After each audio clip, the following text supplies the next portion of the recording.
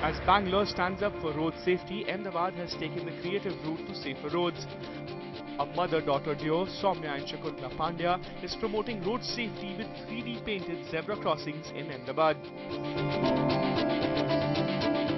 The motto of these professional artists is to increase the attention of drivers, especially at the accident-prone areas of the city. Taking inspiration from other countries, Saumya's improvised idea might not stop accidents 100%, but such intelligent use of art may save some lives.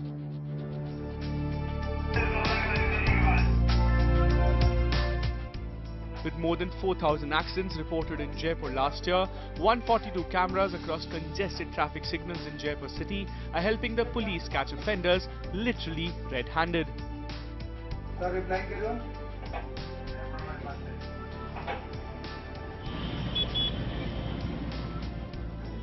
Jaipur Police is also looking at promoting e-rickshaws that are steady, safe and a less polluting vehicle to help make travelling in the city a safer ride.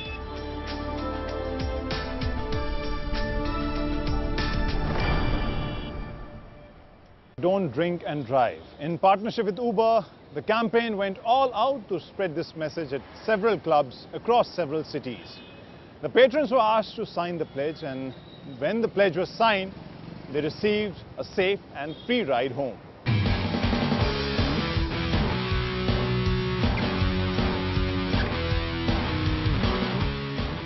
The Diageo NDTV Road to Safety initiative reached multiple clubs in various cities in India to raise awareness about the dangers of drunk driving. The country came together to pledge to never drink and drive. I'll never drink and drive. I pledge not to drink and drive. I'll never drink and drive. Please don't drink and drive, guys.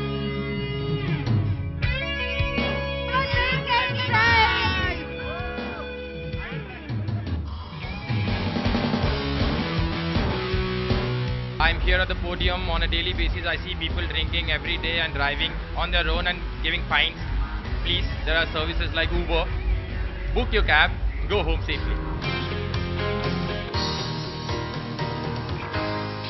To drive home at the dangers of drink and drive, our partner Uber gave ride coupons to all those who were participating in the initiatives in a measure to ensure that all patrons enjoy the evening responsibly.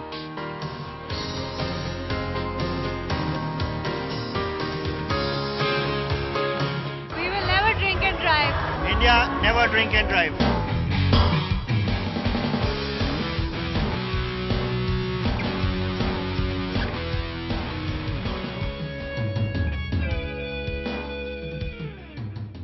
India leads the world in road accident deaths. According to a study, one serious accident occurs every minute in the country. Check on speeding, rash driving and drunk driving can reduce the numbers, but we as a country need to have better and faster responders to the road accident victims. This will also increase the survival rates of the victims. We bring to you a story of two families who could have had better life if they received